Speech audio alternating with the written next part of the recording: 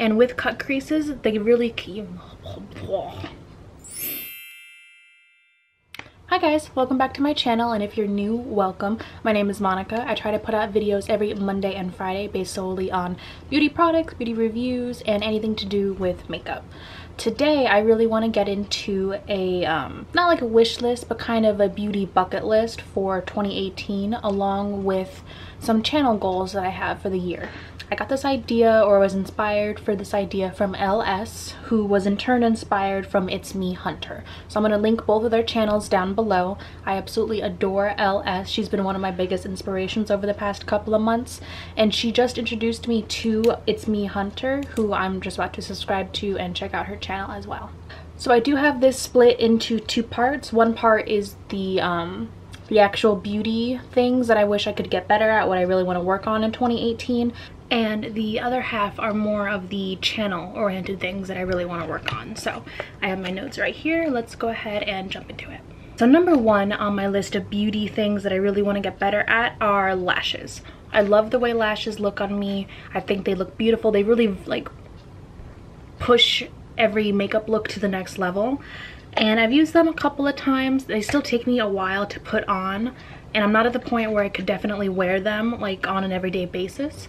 So during 2018, I really do want to get a little bit more out of my comfort zone, um, experiment with more lashes. I do have a couple of pairs that I've been saving to try out, some from Pure, some from Ardell. Um, so just getting more comfortable with lashes, wearing them, you know, more on an everyday basis is one of my goals for the year. Another goal for 2018 is to get better at the cut crease. Um, since I do have heavily hooded eyes, cut creases can help in opening them up and making them look a little bigger than they actually are.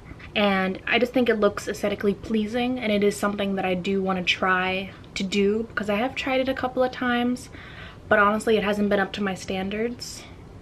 And you can really use a cut crease in any kind of look with any kind of colors, with any kind of textures. So it is something that I really want to get comfortable with and master over 2018. Now, the last beauty related thing that I have on my beauty bucket list for this year is to stop being afraid of lip products. Now, that does sound a little bit silly, but um, I have all these beautiful lip products. If I have my um, lip product declutter up, I'll go ahead and link that below. Below or if it's not uploaded yet make sure you subscribe so you can go ahead and catch that when it does come out. But I have all these beautiful lip products. I swatch them I try them on and they look great. But I am afraid of wearing them like either to work or for all day like all day long because I keep thinking like oh what happens if it breaks down in the middle of the day? What happens if it doesn't look as great and I'm not able to touch it up? My goal is to stop being afraid of them and just to wear them because I think they look beautiful.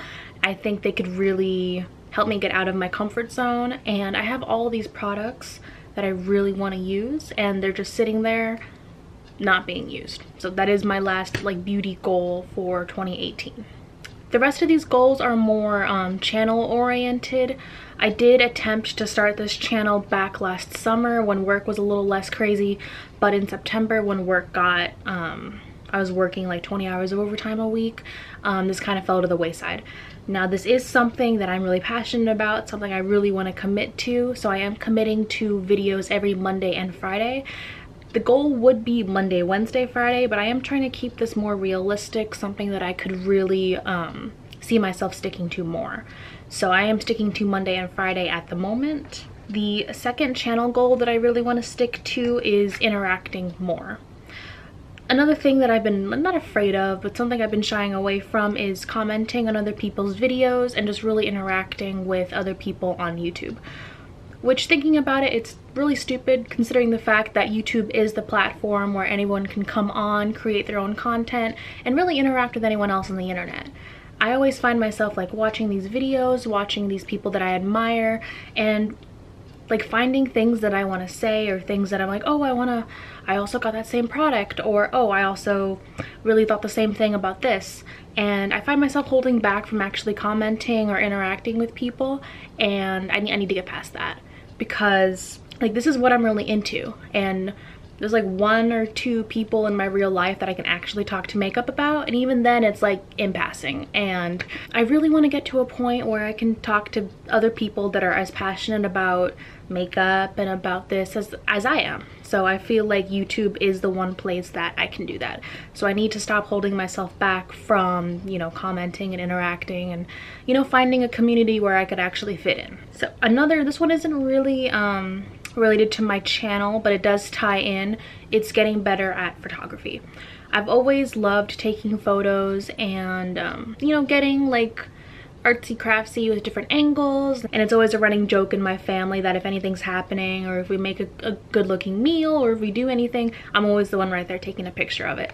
And i have been really proud of the way my instagram has been for the past couple of months and now that i have an actual canon camera i really want to just you know step it up to the next level.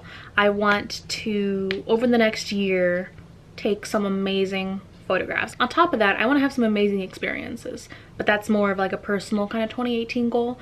But as I go through this year, as I go through the summer, as I go through the spring, I really want to devote more time to taking some more great photos because I've been able to do some great things with just my iPhone but now that I have an actual like Canon I'm excited for like all the new like options and availability for what I can do with an actual like camera and this is my first like real camera.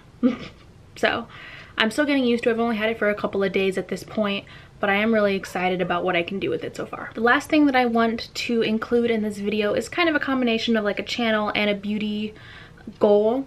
I want to get better at doing empties videos. Now, I'm a bit of a neat freak. I don't like having trash around my room. As you can see, my room is pretty much spotless but I feel like empties are a good way to keep track of what I'm using, what I'm actually liking, and deciding at the end of the day what I've actually liked about each product and what I've not liked about each product. So I do want to designate either like a drawer in my dresser for, or like a little bucket for empties and I do want to review them at the end of every month if I do have empties at the end of every month just so that I can get better in tune with what I'm using and what I'm liking. So that is my beauty slash channel bucket list for 2018. If you have a beauty bucket list video or you have anything that you want to work on in 2018 please link it or let me know down below. I would love to hear from other people. Thank you so much for joining me today and I hope I'll see you in one of my other videos. Bye!